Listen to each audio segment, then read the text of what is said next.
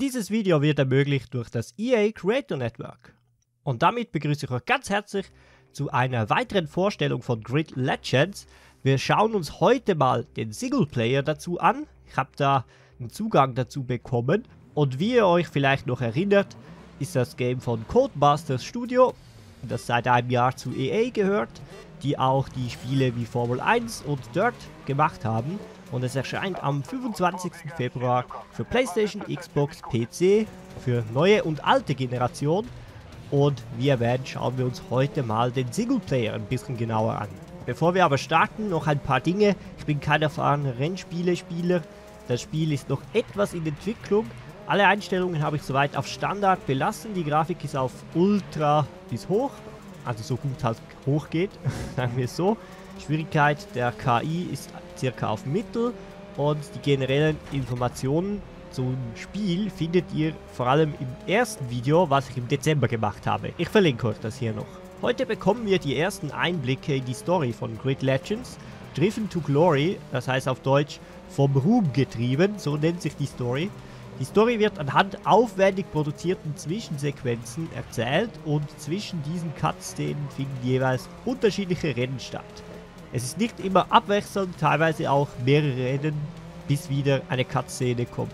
Am Ende wird dabei eine Dokumentationsgeschichte erzählt, wie der Spieler als Fahrer 22 von einem Neuling die Chance bekommt, bei Seneca Racing, so heißt das Team, als Fahrer einzusteigen und sich von kleinen Rennen zu einem erfahrenen Rennfahrer hochkämpft. Ihr könnt euch das so vorstellen, wie man von einem bekannten Rennfahrer eine Dokumentation verfilmen würde, wie er von seinen Anfängen bis heute einer der besten Fahrer geworden ist. Der Fahrer selbst kommt aber darin nicht vor, da er kein Gesicht und auch keine Stimme hat. Diese seid nämlich ihr, der Spieler. In der Story haben wir Markus Ado, der Teamchef von Seneca Racing, ist eine der zentralen Figuren.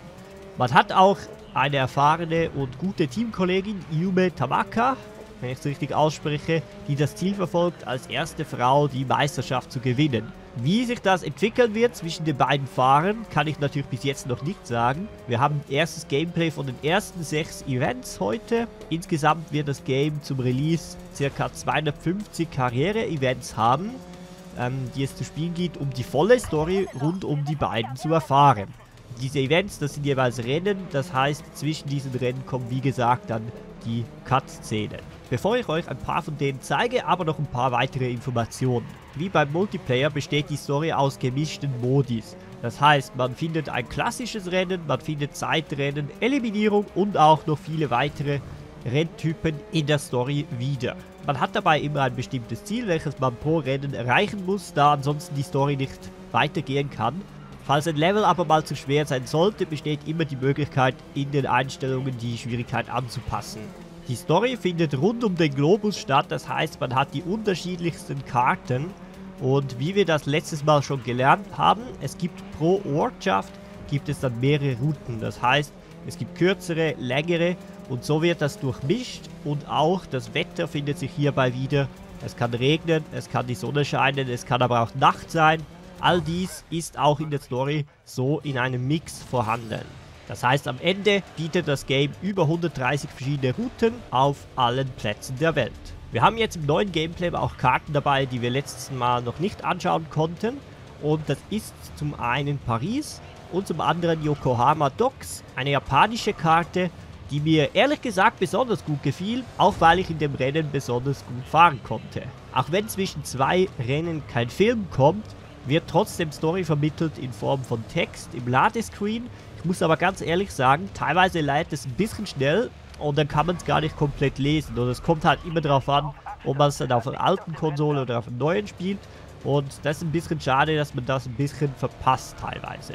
Das Game ist aber, wie ihr auch hört, komplett auf Deutsch übersetzt. Wie gut jetzt der deutsche Voice Act zur Szene passt, muss natürlich jeder für sich selbst entscheiden. Für mich persönlich würde die, die englische Version wahrscheinlich diesmal fast besser passen.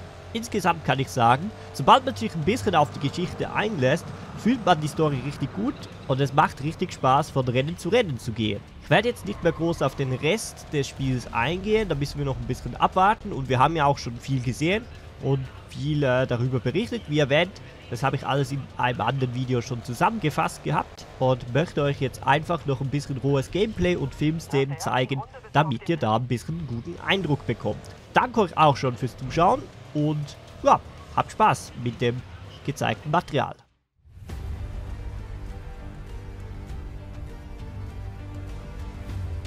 Das Raven West Team mit Nathan McCain und Lara Carvalho liegt auf der Strada Alpina in Führung. Doch Yumi Tanaka von Seneca ist direkt hinter ihnen und das bereits seit acht Runden. Wird sie es schaffen, bei diesem Rennen Grid World Series Geschichte zu schreiben? Valentin Manzi, ein Einzelkämpfer im Mittelfeld, versucht aufzuschließen, aber er wird von North Point aufgehalten. Ich komme nicht vorbei, gib Anweisung zum Verteidigen. Ich bin gut gelaunt aufgewacht. Das Wetter war perfekt. Vom Team nahm man endlich Notiz. Nummer 22 verteidigt die Position. Sehr gut, 22. Mach weiter Druck. Seneca hatte einen Wahnsinnslauf in diesem Jahr. Yumi Tanaka hat sich Caballo jetzt schön zurechtgelegt. Sie setzt zum Überholen an. Raven West vergisst's. Hinterherfahren ist leichter als anzuführen. Sie zieht vorbei. Das ist der eindeutige Beweis. Raven West ist schlagbar und wird auch herausgefordert. Yumi war echt gut in Form, aber es lagen noch viele Runden vor uns. Für mich war alles wie immer. Einfach die Lücke schließen. Egal wie. Lara, hol die Position zurück. Ich versuch's. Ich mach das schon. Ich lasse ihn nicht vorbei. Jetzt McCain gegen Tanaka. Bisher ein tolles Rennen für Seneca. Druck? Nein, nein, Quatsch. Hey, wenn diese Idioten nicht auf der Strecke bleiben können. Ihr Problem. Eine Lücke. Sie riskiert sehr viel. McCain gefällt das gar nicht.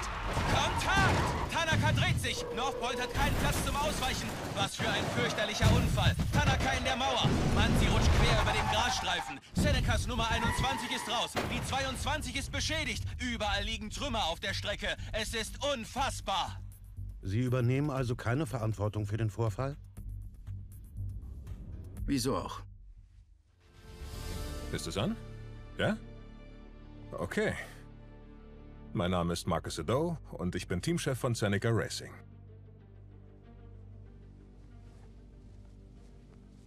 Hey, Liebling. Nein, nein, nein, nein, nein, wir, ähm, wir haben dieses Dinner mit den Vorstandsmitgliedern morgen. Hä? Manche werden in den Rennsport hineingeboren. Ich musste dafür arbeiten. Meine Eltern führen ein nigerianisches Restaurant in Südlondon. Und für sie hing Erfolg nie von ausgefallenen Gerichten oder teuren Zutaten ab.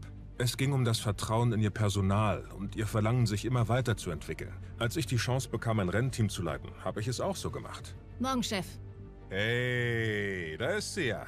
Falls ihr hinterm Mond lebt, das ist Yume Tanaka, Rennsportlegende. Hast du Zeit, die neue Bremsanlage zu besprechen? Klar. Marcus Ado ist sowas wie ein Wunderkind.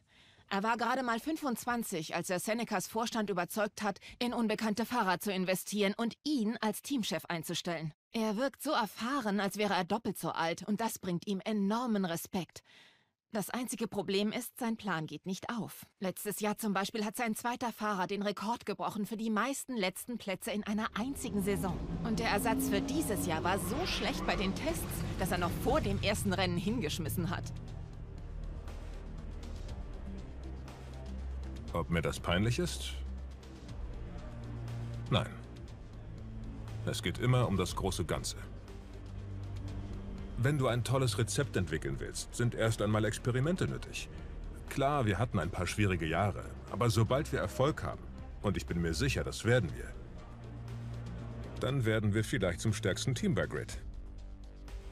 Aber was jetzt? Die Saison beginnt in drei Tagen und Ihnen fehlt ein Fahrer. Dann finde ich halt einen neuen Fahrer. Seneca hat immer noch Probleme bei den Testfahrten. Mehrere Testfahrer waren an Unfällen beteiligt. Diesmal fehlerfrei, klar?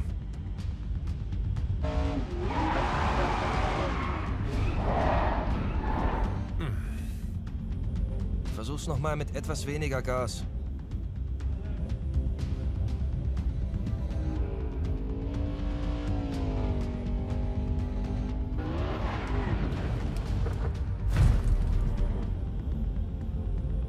Mach dir keine Sorgen, ist nur ein Blechschaden.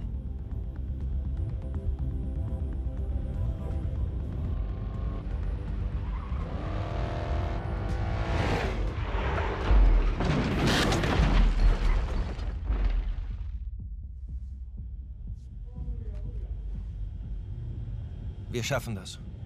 Ich verspreche es dir.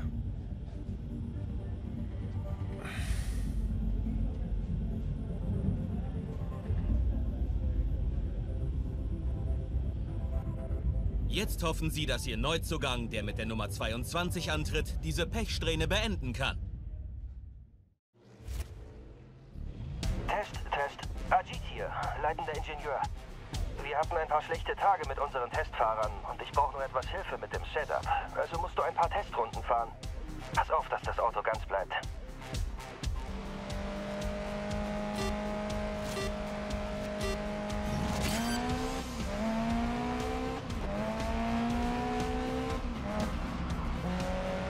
Gas. Mal sehen, was du aus dem Auto rausholen kannst.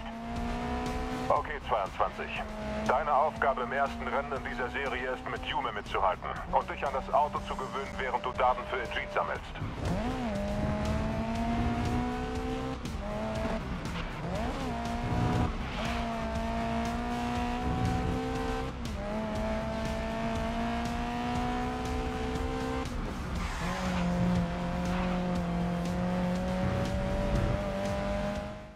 Meine Mutter sagt immer, der Bauer macht das Essen. Das bedeutet, arbeite immer mit den Zutaten, die du hast. Ich wollte mir einen Fahrer ansehen und habe einen anderen gefunden. Und das Gespräch war so beeindruckend, dass ich ein Angebot gemacht habe. Sie waren von einem Gespräch beeindruckt? Ja, das stimmt. Ja, ich finde, wenn jemand viel Potenzial hat, sieht man das nicht nur an der Performance. Es geht um die Person, um Charakter. Erstklassige Fahrer sind genau wie alle Hochleistungssportler. Sie sind davon besessen, besser zu sein. Sie hungern danach, sich zu beweisen. Und sie tun alles dafür, um ihre Träume zu erreichen. Jemand mit so einer Leidenschaft ist zum Beispiel Yume.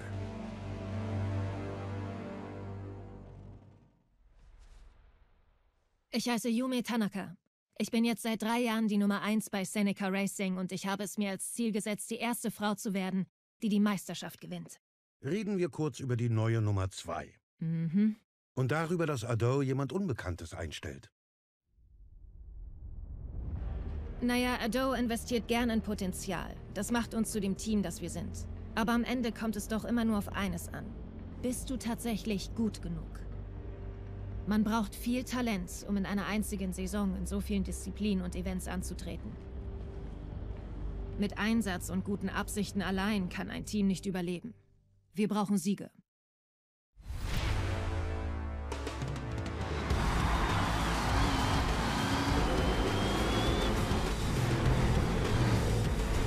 Um bei Elimination zu gewinnen, darfst du beim Ablaufen des Timers nicht in der Gefahrenzone sein. Denn wer diese bei Null noch nicht verlassen hat, wird eliminiert und scheidet aus. Der Timer wird dann zurückgesetzt und wer am weitesten zurückliegt, findet sich in der Gefahrenzone wieder. Die Teilnehmer werden ausscheiden, bis nur noch einer übrig bleibt. Also sei schnell, bleib an der Spitze und wenn du in der Gefahrenzone landest, tu, was du kannst, um wieder herauszukommen.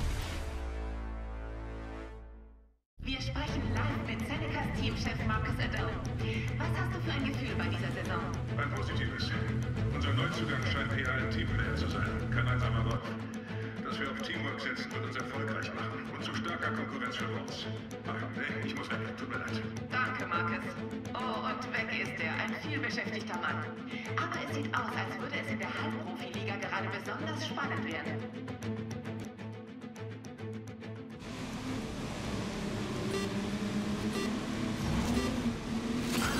Wir müssen Boys weiter Konkurrenz machen. So schaffen wir es in die Profiliga.